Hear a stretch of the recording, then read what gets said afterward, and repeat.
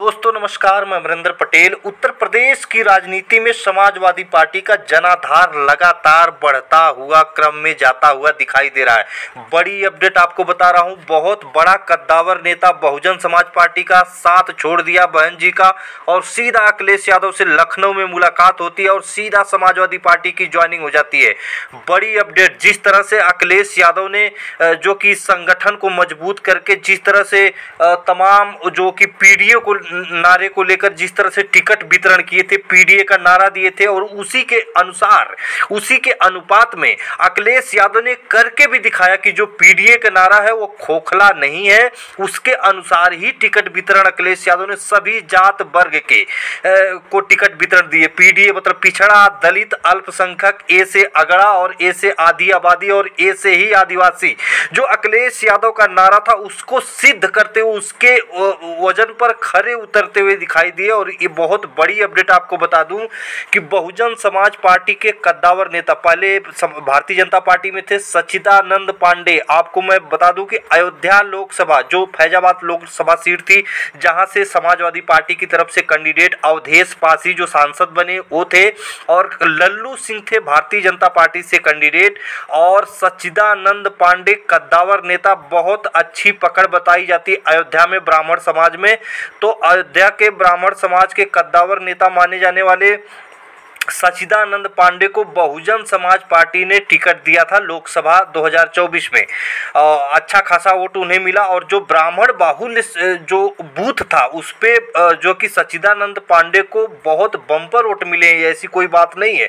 जो समीकरण हमने देखा सारी डेटा जब चेक किया तो निश्चित तौर पर समाजवादी पार्टी उन्हीं नेताओं को ज्वाइन करा रही है जो कि जिसके पास जनाधार हो और आपको बता दें कि अखिलेश यादव के सामने अवधेश अवधेश पासी जो सांसद हैं दलित नेता अवधेश पासी सांसद अवधेश पासी सच्चिदानंद पांडे को लेकर आते हैं लखनऊ और सीधा समाजवादी पार्टी के मुखिया अखिलेश यादव से मुलाकात कराते, साथ ही समाजवादी पार्टी की सदस्यता ग्रहण करवा देते हैं। बड़ी अपडेट, भारतीय जनता पार्टी में हड़कंप मची। आपको बता दें कि जिस तरह से समाजवादी पार्टी का माहौल एक तरफा बना हुआ, उसको देखते हुए बहुत सारे नेता आने वाले समय में आपको बता दें कि उपचुनाव से पहले तो ज्वाइनिंग करेंगे ही करेंगे। हज़ारों जो कि समर्थकों के साथ सच्चिदानंद पांडे समाजवादी पार्टी ज्वाइन कर लिए, बहुजन समाज पार्टी का दामन छोड़ के।